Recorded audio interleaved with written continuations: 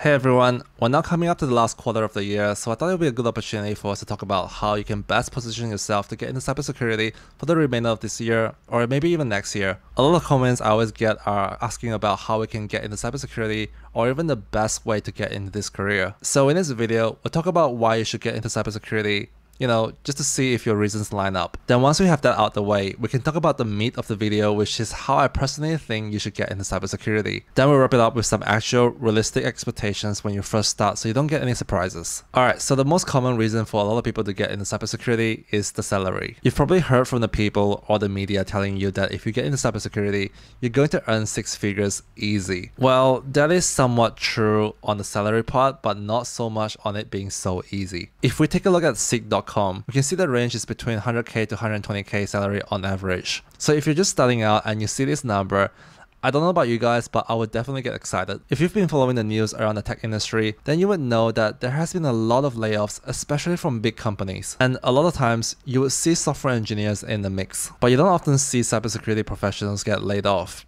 right? That's because with the increasing threat in the cyberspace, a lot of companies can't afford to loosen up their cybersecurity. That means if you work in this field, the chances of you going jobless is really low. Unless you're a low performer and you're just cruising along and not contributing much to your company, then yeah, you deserve to get fired. Since cybersecurity is a tech job, that means you get quite a lot of flexibility. By flexibility, you get more options to work from home, work in the office, or even hybrid arrangement. A lot of companies I see have already incorporated work from home into their environment. Take myself for example. All I need is my laptop and I can generally work anywhere I want. Our company uses a hot desk system so we can just rock up to the office and plug in. There are plenty of ups and downs for working from home and that's another topic I'll get into next time. But with the flexibility that you get when you work not just in cybersecurity but tech in general, it's really hard not to pass this up. The next reason is really subjective, but I think working in cybersecurity really spices up the social aspect of your life. If you think about it, when you're at a social event, how often do you get to meet someone that actually works behind the scenes like in cybersecurity? So I was at a social dinner one day and people were really curious as to what I could see and what I could do with my admin privileges. So if you're not that good with conversations, then maybe working in cybersecurity might actually help you out on this. Now that we have gone through some of the reasons why you would want to get into cybersecurity,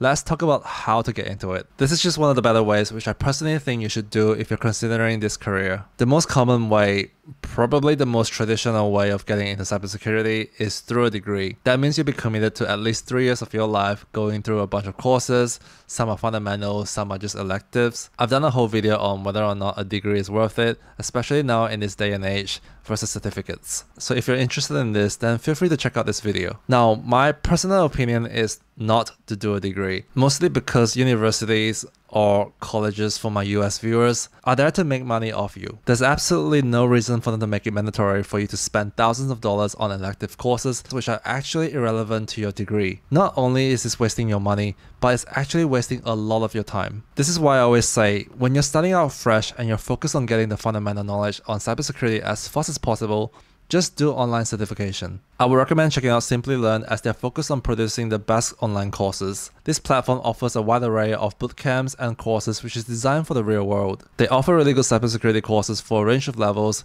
like this postgraduate program for the more advanced people. But if you're getting into cybersecurity, I would personally recommend CompTIA Security Plus as I had good experience with this. Looking at the course content, we can see it starts off with general security concepts such as gap analysis, type of security controls, and cryptography. Then it moves on to threats, vulnerabilities, and mitigations, which includes threat actors, indicators of compromise, malware attack, and network attack. These are the stuff that we encounter and work on on a daily basis as a SOC analyst. The next module involves security architecture like firewalls, VPNs, business continuity planning, which is important and practical especially after the CrowdStrike outage. Module 4 involves security operations like app security, sandboxing, monitoring, email security, all the good stuff that I actually do on a daily basis as a SOC analyst as well. And lastly, we've got security program management and oversight, which involves standards, guidelines, procedures, and governance, which are all very important and occur in our company on a frequent basis as well. So the entire course content is pretty relevant to real life, and it covers pretty much all the basics you need to know about cybersecurity and working as a SOC analyst. Now, if we take a look at what's being offered here, we can see that this course provides 100% money back guarantee, so it's basically risk-free for you guys. This also includes the exam voucher,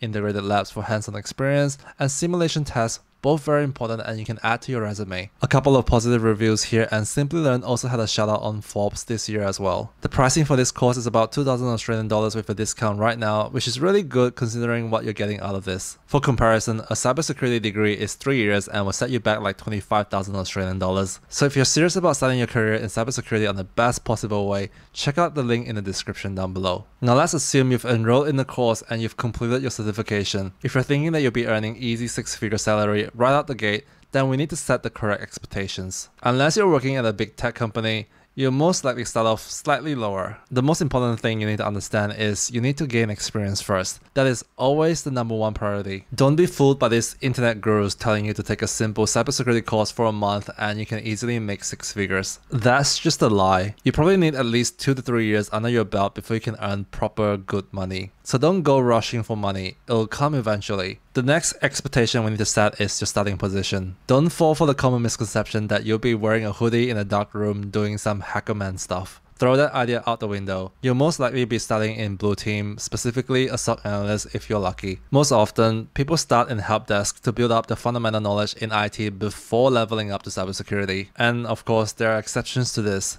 For example, I came from a software engineer background and then moved to cybersecurity. But generally, as long as you've been working in tech and you know your way around computers, then SOC analyst is your first position. As you build your knowledge and skills and experience, you start to move up the ladder such as security engineer, security architect, or even move to the red team as a penetration tester. The third important expectation to set when you're just starting out in cybersecurity is your mindset. Specifically, the grind mindset. Once you've landed a position in cybersecurity, the learning doesn't stop there. You need to continuously upskill yourself in different areas of cybersecurity, not only to gain more knowledge and experience, but also to arm yourself to be that valuable member in your team. You also need to stay up to date with the latest trends in cybersecurity, such as common vulnerabilities. If your mindset goes to the easy, cruising life, then your progress stops. It's fun if that's your end goal, to remain as a SOC analyst. But generally, if you want to climb the ladder to hit that golden salary you've been hearing, you need to keep learning. Lastly, if you're thinking that you're too late to start in cybersecurity,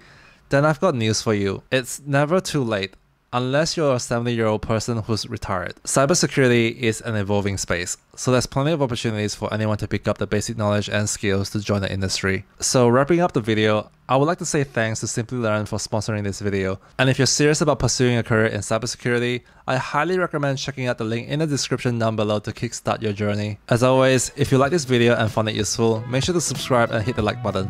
Thanks for watching.